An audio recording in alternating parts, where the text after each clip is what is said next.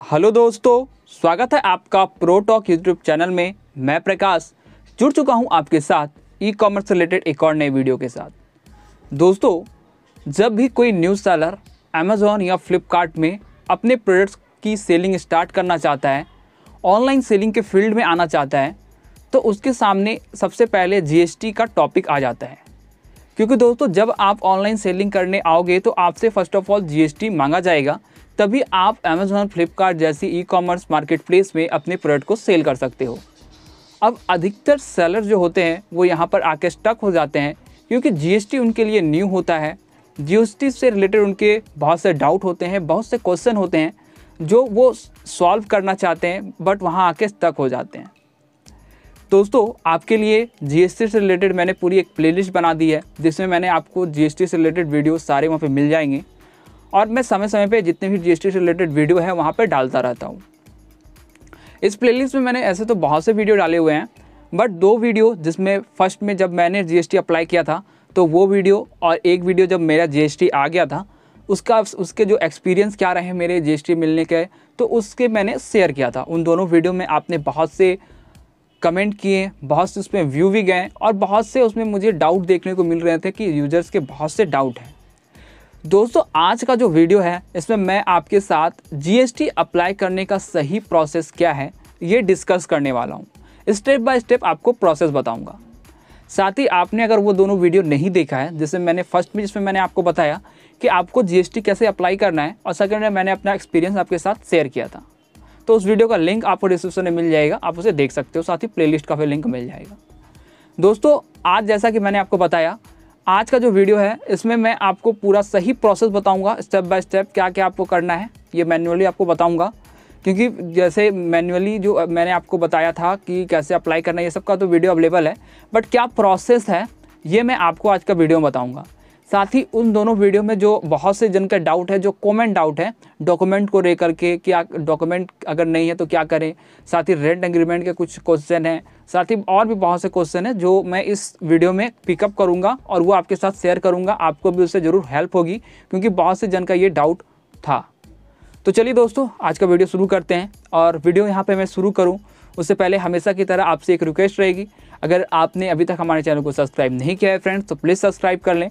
साथ ही वीडियो पसंद आएगा तो लाइक ज़रूर करना है और ये वीडियो उन तक ज़रूर पहुँचाएँ जिनको जीएसटी से रिलेटेड हेल्प हो सकती है। तो चलिए दोस्तों, आज का वीडियो शुरू करते हैं। दोस्तों फ़र्स्ट ऑफ़ ऑल मैं आपके साथ जीएसटी अप्लाई करने का सही प्रोसेस क्या है, ये बताने वाला हूँ। उसके बाद क्वेश्चन की बारी आएगी, उसे हम लोग डिस्कस करेंगे। दोस्तों, जब भी आप जीएसटी अप्लाई करते हो तो उसका स्टेप बाय स्टेप प्रोसेस है, उसे आपको कंप्लीट करना होगा। आपको जीएसटी अप्लाई करने से पहले, जिसके भी नाम पे आपको जीएसटी अप्लाई करना है या जिसके नाम पे भी आप जीएसटी ले रहे हो, उनका पेन कार्ड होना मस्ट है। तो आपको फ़र्स्ट स्टेप जो है, वो है उस पर्सन का पेन कार्ड जिसके नाम पे आपको अप्लाई करना है। अब जब आप पेन कार्ड ले लेते हो तो सेकेंड बारी आती है कि आपको उनके नाम पे कुछ डॉक्यूमेंट चाहिए होंगे, जो आपको वहाँ पर जब आप अप्लाई करोगे जीएसटी के तो वो प्रूफ आपको देने होंगे। अब ये डॉक्यूमेंट कौन कौन से हैं ये आप जान लीजिए। फ़र्स्ट तो है पेन कार्ड जो मैंने आपको बताया मस्ट है। उसके बाद आपके पास होना चाहिए आधार कार्ड। अब आधार कार्ड में दोस्तों एक बात का ध्यान रखें कि आप जिनके भी नाम पे अप्लाई कर रहे हो या खुद के नाम पे अप्लाई कर रहे हो उनके आधार कार्ड में मोबाइल नंबर ऐड होना चाहिए।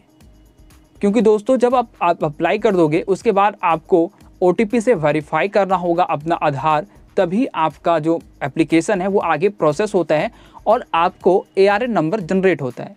तो फ़र्स्ट तो आपके पास पेन कार्ड होना चाहिए, फिर आपके पास आधार कार्ड होना चाहिए, जो जो मोबाइल से लिंक होना चाहिए उस आधार कार्ड में मोबाइल नंबर अगर नहीं लिंक है तो आप प्रज्ञा केंद्र या जहाँ भी आधार का अपडेट होता है आपके नियर में, वहाँ पर जाके आप आधार में अपना ओ ऐड करवा लीजिए। उसके बाद फ्रेंड बारी आती है इलेक्ट्रिक बिल की। अब यहाँ पे बहुत जन अटक जाते हैं कि अधिकतर जन का इलेक्ट्रिक बिल उनके नाम पे नहीं होता है। तो आप जिनके नाम पे आपका है, अगर आपके पेरेंट्स हैं तो आप उनसे एनओसी ले सकते हो, वो काम आ जाएगी। या फिर आप रेंट में अगर कहीं पे आपका शॉप है तो आप अपने, आपने शॉप जब लिया होगा तो आपको ज़ाहिर है रेंट एग्रीमेंट आपने बनवाया होगा तो आप उस रेंट एग्रीमेंट को यूज़ कर सकते हो। अब बहुत से शॉप ऐसे होते हैं जो रेंट एग्रीमेंट नहीं बनवाते हैं तो आपको अगर रेंट रिसीव मिलता है फ्रेंड्स तो उसमें, उसे भी आप यूज़ कर सकते हो। जो मैंने जब अप्लाई किया था, उसमें, उस समय आपको पूरा दिखाया था कि क्या क्या यूज़ कर सकते हो। अब ये भी आपके पास नहीं है तो आप जो लीज एग्रीमेंट होता है, आप वो बनवा सकते हो। अगर आपके पेरेंट्स के नाम पे इलेक्ट्रिसिटी बिल नहीं है तो आप क्या कीजिए, आप लीज पे लीज डॉक्यूमेंट बना लीजिए कि आपका जो, ये जो जिस जिस पर्सन के भी नाम पे होम है इलेक्ट्रिक बिल है उनसे आप लीज एग्रीमेंट बनवा लीजिए कि आपको वो अलाउ कर रहे हैं कि आप यहाँ पर बिज़नेस वर्क कर सकते हैं, वो भी काम आ जाता है। तो ये हो गया इलेक्ट्रिक बिल इसके अलावा क्या क्या आप यूज़ कर सकते हो, वो भी मैंने आपको बता दिया। इसके बाद आपका फ़ोटो फिर आपका बैंक अकाउंट बैंक अकाउंट दोस्तों, देखिए जब आप अप्लाई करोगे, उस समय काम नहीं आने वाला है। वो काम आएगा जब आपका रजिस्ट्री नंबर आ जाएगा, उसके बाद आपको वहाँ पर ऐड करना होगा। तो वो बात का है, ठीक है? फिर फ़ोटो और साइन इतने डॉक्यूमेंट आपको चाहिए ये जो डॉक्यूमेंट मैंने आपको बताया, एक बार फिर बता देता हूँ। पेन कार्ड आधार कार्ड जिससे मोबाइल नंबर ऐड होना चाहिए इलेक्ट्रिक बिल या इसके अलावा और कुछ भी यूज़ कर सकते हो जो मैंने आपको बताया। और उसके बाद photo PAN card account number इतनी चीज़ आपके पास होनी चाहिए। दोस्तों, अब बात करते हैं प्रोसेस क्या रहेगा। तो प्रोसेस बिल्कुल ही आसान है। फ़ी की बात कर लूँ, इसमें फ़ी कितना लगने वाला है। फ्रेंड्स फ़ी आपका एक रुपये भी नहीं लगेगा। आप जिनसे अप्लाई करोगे, वो सर्विस चार्ज के नाम पर आपसे जो लेना चाहते हैं, वो ले सकते हैं, वो उनके ऊपर डिपेंड करता है।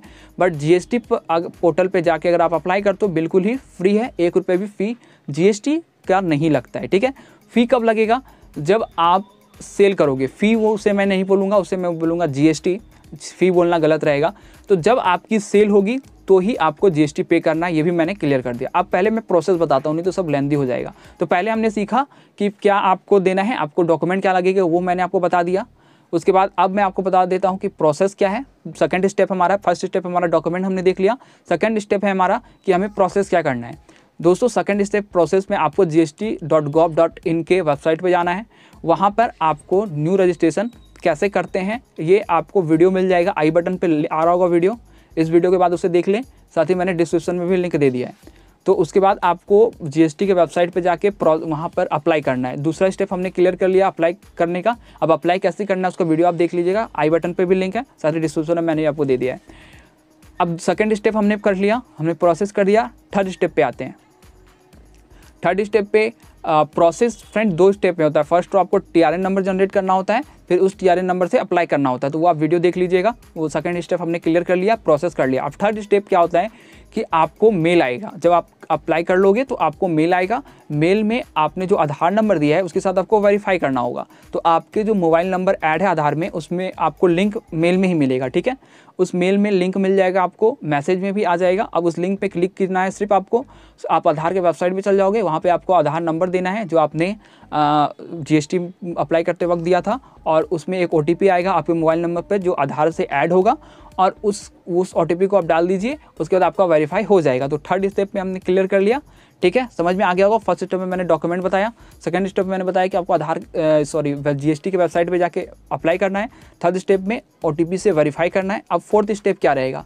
फोर्थ स्टेप कुछ नहीं है फ्रेंड फोर्थ स्टेप में आपको वेट करना है। सिंपली वेट करना है। आपके सारे डॉक्यूमेंट वगैरह सब कुछ वेरीफाई हो जाएँगे तो आपको सिंपली मेल आ जाएगा। अब मेल आने से पहले हो सकता है वेरीफाई करने से पहले मैक्सिमम केस में होता है, कुछ में नहीं भी होता है। कि आपको कॉल भी आ सकता है। आपने जो नंबर वहाँ पर दिया है तो मेक श्योर sure करें कि वो नंबर चालू रहे। आपको कॉल भी आ सकता है। टेन डे के अंदर आपको कॉल आता है। आपका जब सब कुछ हो जाता है तो कॉल आएगा और उसमें आपसे पूछा जाएगा। आप, अब ये जैसे ही आप वेरीफाई करोगे, उसके बाद नहीं आएगा। टेन डे के अंदर कभी भी आ सकता है, जब भी आपका एप्लीकेशन वेरीफाई हो रहा होगा। तो आपको कॉल आ सकता है और आपसे पूछा जा सकता है कि आपने क्यों अप्लाई किया है। तो आप वहाँ पर बता दें। तो फोर्थ स्टेप में वो है और वेट आप करें। फिर जैसे ही टेन डे के अंदर, जैसे ही आपका जीएसटी अप्रूव हो जाता है तो आपको मेल मिल जाएगा। और उस मेल में आपका जो जीएसटी नंबर है, वो भी रहेगा। साथ ही आपको जीएसटी के वेबसाइट में लॉगिन करने का लॉगिन आईडी और पासवर्ड वो भी अटैच रहता है। दोस्तों, अब जीएसटी जो सर्टिफिकेट है, जैसे ही आप वेबसाइट पर लॉगिन करोगे, वहाँ पर आपको वो सर्टिफिकेट मिल जाएगा। आप वहाँ से डाउनलोड कर सकते हो। घर में कुरियर वगैरह से कुछ भी हमें नहीं मिलता है।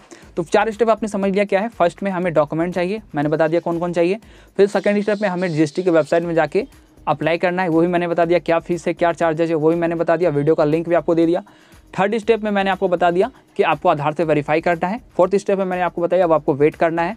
तो टेन डे के अंदर आपको आधार कार्ड आपके मेल में मिल जाएगा या फिर आपको कॉल भी आएगा और वेरीफाई हो जाएगा। तो चार स्टेप सिंपली है जिससे आप आधार ले सकते हो। सॉरी जीएसटी नंबर ले सकते हो। अब बारी आती है उन क्वेश्चन की जो बहुत से लोगों का डिमांड था, बहुत से कॉमन क्वेश्चन है, उसे मैं पिक करता हूँ और आपके साथ उन क्वेश्चन का आंसर शेयर करता हूँ ताकि आपको भी हेल्प मिले अगर आप जीएसटी नंबर लेने जा रहे हो। दोस्तों सबसे फ़र्स्ट क्वेश्चन जो मैं पिक कर रहा हूँ, वो है इलेक्ट्रिक बिल अगर जो अप्लाई कर रहे हैं, उनके नाम पे नहीं है तो वो क्या कर सकते हैं? ये बहुत से कॉमन क्वेश्चन है, बहुत जन का क्वेश्चन था।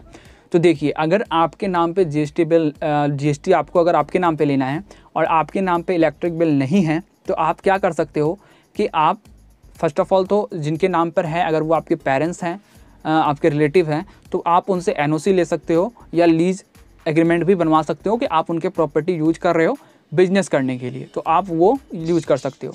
सेकेंड ऑप्शन आपके पास ये है कि आप रेंट एग्रीमेंट बनवा सकते हो तो वो भी यूज़ कर सकते हो। और अगर आपका शॉप रेंट में है तो आपके पास रेंट एग्रीमेंट ज़ाहिर होगा ही तो उसे यूज़ कर सकते हो, या फिर आपके पास अगर रेंट रिसीव है तो उसे भी यूज़ कर सकते हो। दोस्तों, इसके बाद जो अधिकतर क्वेश्चन था, वो था कि जीएसटी नंबर लेने के बाद अगर हमारी सेल नहीं होती है तो क्या हमें कुछ फ़ाइन भी देना पड़ेगा? दोस्तों, ऐसा बिल्कुल नहीं है। अगर आप जीएसटी नंबर ले लेते हो और आपका एक रुपये का भी सेल नहीं होता है तो आपको नील जीएसटी फिल करना है। वो बिल्कुल ही फ्री होता है, उसका वीडियो भी मैंने बनाया है, आपको लिंक डिस्क्रिप्शन में मिल जाएगा। तो आप जीएसटी नंबर ले लेते हो, आपका एक रुपये भी सेल नहीं होता है तो आपको एक रुपये भी जीएसटी के लिए पे नहीं करना पड़ता है, ना कोई फ़ाइन पे करना पड़ता है। आपको सिंपली नील जीएसटी फिल कर देना होता है कि इस मंथ हमारी सेल नहीं हुई है। दोस्तों इसके बाद जो क्वेश्चन कॉमन था, वो था कि जीएसटी नंबर लेने के बाद क्या उसकी कोई एनुअल फ़ी है या कोई मंथली फ़ी है? दोस्तों, ऐसा बिल्कुल नहीं है।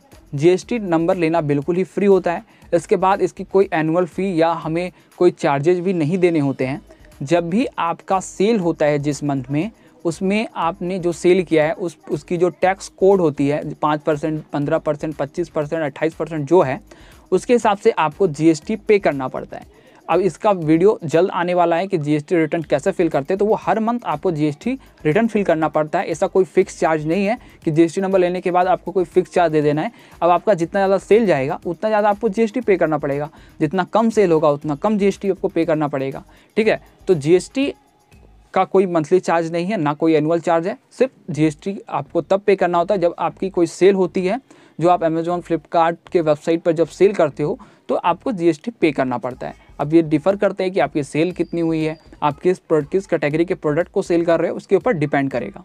दोस्तों, इसके बाद जो कॉमन क्वेश्चन था सभी व्यूअर्स का, वो ये है कि आखिर अगर हमारी शॉप नहीं है तो क्या हम जी नंबर ले सकते हैं? हाँ दोस्तों, बिल्कुल ले सकते हो। मेरा भी कोई शॉप नहीं है, मैं घर से ही अपने बिज़नेस को ऑपरेट करता हूँ तो मैंने भी जीएसटी नंबर अपने घर के एड्रेस पे लिया है। कोई ज़रूरी नहीं है कि आपका शॉप हो, तभी आपको जीएसटी नंबर मिलेगा। दोस्तों नेक्स्ट क्वेश्चन जो था कि आखिर हम जीएसटी नंबर लेने के लिए जो अकाउंट नंबर है, वो करेंट यूज़ कर सकते हैं या सेविंग यूज़ कर सकते हैं। तो दोस्तों, आप दोनों में कोई भी यूज़ कर सकते हो। आप जब वहाँ पर अकाउंट अपडेट करोगे तो वहाँ पे आपको ऑप्शन आ जाता है कि सेविंग अकाउंट चूज़ करना है या करेंट अकाउंट चूज़ करना है। तो आप दोनों में कोई भी यूज़ कर सकते हो। दोस्तों, ये मैंने कुछ टॉप कमेंट जो थे कॉमन कमेंट जो थे, जो जिन लोगों ने पोस्ट किए थे, उसे मैंने पिकअप किया। अगर आपको लगता है कि आपका कोई क्वेश्चन है जीएसटी से रिलेटेड जो मैंने इस वीडियो में पिकअप नहीं किया, आपने कमेंट किया था तो आप आपका अगर कोई और भी क्वेश्चन है जीएसटी से रिलेटेड तो इसी वीडियो के नीचे आप मुझे कमेंट करें। मैं इसका पार्ट टू लेके आऊँगा। ज़्यादा से ज़्यादा अगर 50 कमेंट 60 कमेंट आते हैं क्वेश्चन की लिस्ट आ जाती है तो मैं उन सारे क्वेश्चन को एनालाइज करके नेक्स्ट पार्ट इसका ज़रूर लाऊँगा। तो आप, अगर आपका कोई डाउट है जो रह गया हो तो कमेंट कीजिए। मैं नेक्स्ट वीडियोस का पार्ट टू लेके आऊँगा जी के डाउट से रिलेटेड तो आज का वीडियो अगर आपको नॉलेज लगा तो लाइक ज़रूर कीजिएगा। साथ ही चैनल पर नए हो तो सब्सक्राइब कीजिएगा और इस वीडियो को उन तक ज़रूर पहुँचाएँ जिनकी इस वीडियो से हेल्प हो सकती है। Thank you watching this video दोस्तों। मिलते हैं नेक्स्ट वीडियो में।